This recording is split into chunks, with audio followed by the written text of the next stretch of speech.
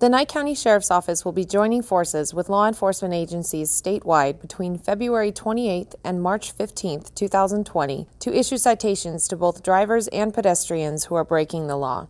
Nevada ranks among the 10 worst states for pedestrian fatalities.